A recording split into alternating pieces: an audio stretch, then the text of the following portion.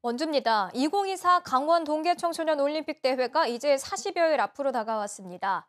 이 대회 최전선에서 활약할 자원봉사자들이 오늘 발대식을 열고 성공 개최를 다짐했습니다. 고순정 기자의 보도입니다. 2018 평창 동계올림픽에 이어 강원도에서 열리는 겨울 스포츠 축제 2024 강원 동계 청소년 올림픽. 내년 1월 19일부터 14일 동안 평창과 강릉, 횡성, 정선 일원에서 전 세계 80여 개국의 청소년 1,900여 명이 참여합니다. 선서 나 자원봉사 샤인크루는 2024 강원 동계 청소년 올림픽 대회의 성공적 개최와 공정과 화합을 여는 2024 강원 동계 청소년 올림픽 성공 개최의 최일선에 설 자원봉사자들이 발대식을 했습니다. 대회에는 2,030명의 자원봉사자가 참여합니다. 개최 도시인 강릉과 평창, 정선, 횡성의 시장 군수들은 명예 자원봉사단장으로 위촉됐습니다. 이제는 그동안 준비한 것을 차질 없이 실행에 옮기는 것이 중요합니다.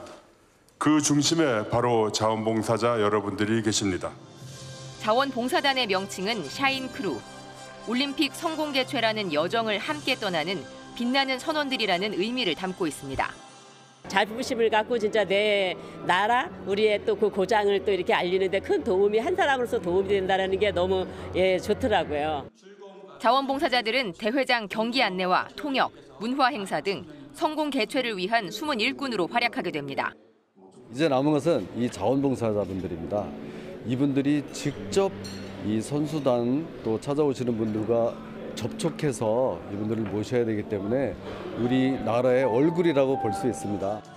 자원봉사자들은 이달 중순 업무 배정을 시작으로 현장 교육을 거쳐 내년 1월 8일부터 올림픽 현장 곳곳에 투입됩니다.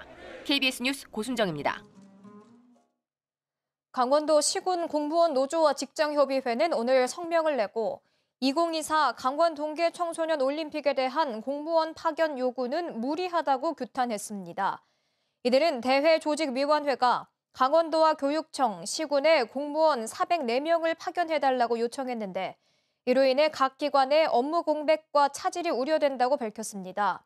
또 출장비와 체류비를 시군이 부담해야 하는 상황도 받아들이기 어렵다며 파견 인력에 대한 보상책 마련을 촉구했습니다.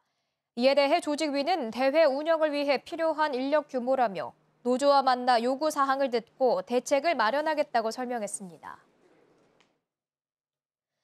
내년 1월과 2월에 온라인으로 운전면허 적성 검사를 받으면 발급 수수료 일부가 할인됩니다. 도로교통공단은 내년 1월과 2월 온라인 적성 검사 발급 수수료 10% 할인을 추진한다고 밝혔습니다. 대상자는 최근 2년 국가 건강 검진을 받은 69살 이하 1, 2종 보통 면허 소지자입니다.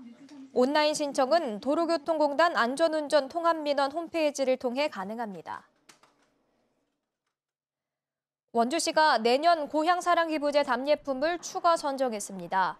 새로 선정된 답례품은 소금산 그랜드밸리 입장권과 감자떡, 원주 팔경 자석 액자 등 9개 업체의 22개 품목입니다. 이에 따라 답례품은 내년에 72개 품목으로 확대됩니다. 원주시는 선정업체와 사전 절차를 거쳐 내년 1월 1일부터 기부자들에게 새로운 답례품을 제공할 예정입니다. 평창군과 평창영화보험협동조합이 오늘부터 이달 13일까지 해피 700 평창 시네마에서 겨울 영화제를 개최합니다. 겨울 영화제에서는 하루 두번에서 네번까지 모두 20여 차례에 걸쳐 서울의 봄 등 6편을 무료로 상영합니다. 해피 700 평창 시네마는 2015년 12월 문을 연 평창 유일의 영화관입니다. 지금까지 원주였습니다.